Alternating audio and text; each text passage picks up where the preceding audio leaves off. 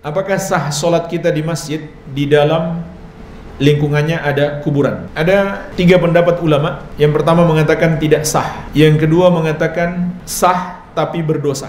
Yang ketiga ini yang benar, ini pendapat yang lebih kuat. Jawabannya tergantung niat. Kalau niatnya mengagungkan penghuni kubur tersebut, maka sholatnya tidak sah. Karena itu syirik. Subhanallah ada orang yang sholat bukannya menyembah Allah tapi malah menyembah penghuni kubur. Caranya dengan dia mengagungkan dalam hatinya penghuni kubur tersebut. Ini yang pertama. Yang kedua, kalau dia kebetulan sholat di situ, dia tahu di situ ada kubur, tapi dia tidak meni, mengagungkan penghuni kubur tersebut, maka dia berdosa besar, tapi sholatnya sah.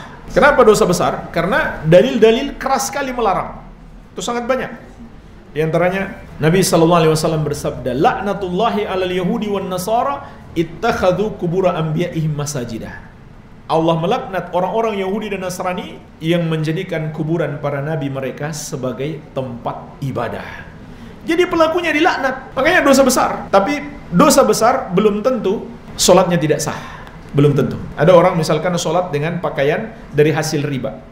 Di satu sisi dia berdosa, tapi di sisi lain sholatnya sah. Jadi mirip dengan itu.